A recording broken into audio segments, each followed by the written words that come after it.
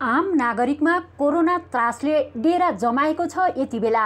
अझ सरकारको पछिल्लो निर्णयले नागरिक झन चिन्तित बनेका छन्। स्वास्थ्य तथा जनसङ्ख्या मन्त्रालयले अशक्त अति अपाङ्गता भएका नागरिक असहाय एकल महिला ज्येष्ठ नागरिक स्वास्थ्यकर्मी सरसफाइमा खटिने कर्मचारी सुरक्षाकर्मी लगायत बाहेक अरूले आफ्नै खर्चमा कोरोना परीक्षण गर्नुपर्ने निर्णय गरेसँगै। सरकार लाचारी बन्दै गइरहेका बेलामा गोदावरी नगरपालिकाले भने उदाहरणीय काम गरेको छ। अहिले गोदावरी नगरपालिका निशुल्क परीक्षण गर्नेमा पहिलो नगरपालिका बनेको छ भन्दा कुनै फरक नपर्ला।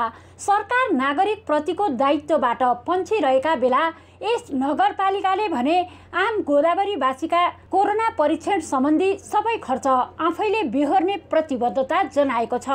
अब यहाँका नागरिकले कसरी निशुल्क सुविधा पाउँछन् त? नगरपालिकाका प्रमुख गजेन्द्र महर्जनको भनाइ यस्तो छ।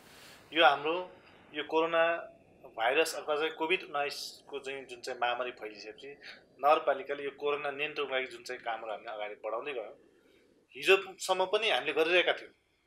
हामीले कोरोना सङ्क्रमित कोही छ भने त्यसलाई चाहिँ हामीले चाहिँ एउटा चाहिँ दुईवटा ट्रेसिङ टिम हामीले बनाएका छौँ तिन तिनजनाको टोली।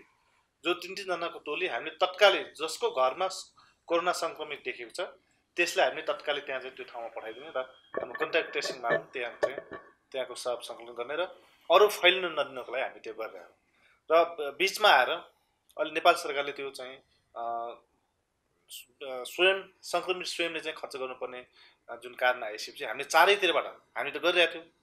मलाई लाग्छ अन्य नगरपालिकाको दाजुमा हाम्रो नगरपालिकाले यो कन्ट्राक्ट ट्रेसिङ टिमलाई टिमले जति काम गरिरहेको छ हाम्रो सम्पूर्ण कार्यपालिका बोर्ड नै त्यसमा खुसी छ। किनभने कोरोना भाइरस सङ्क्रमण पहिचानदेखि अस्पताल भर्ना उपचार लगायतबाट सरकार पछि हटिसकेको छ।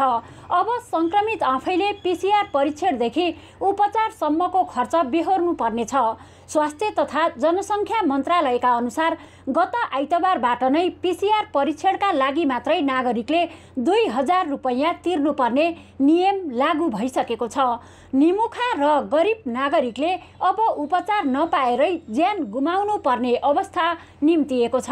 सरकारी तथा निजी दुवै अस्पतालले शुल्क लिने बारेमा सर्वोच्च अदालतले कोरोना परीक्षणका नाममा शुल्क नलिन सरकारका नाममा आदेश समेत जारी गरेको थियो।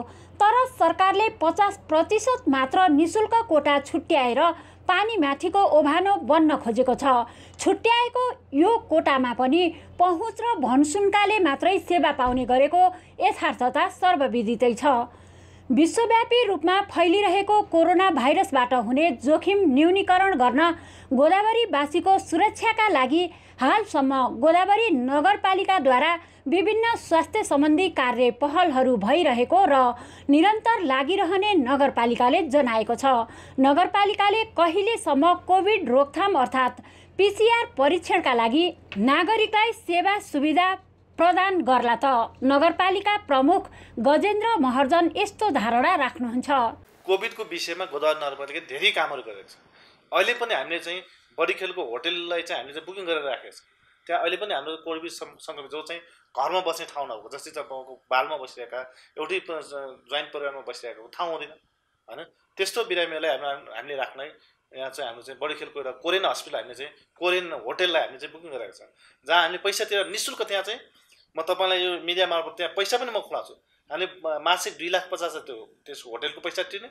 र पर सङ्क्रमित बिरामीको बराबर दैनिक चार छाक उहाँलाई खुवाउँछौँ हामी।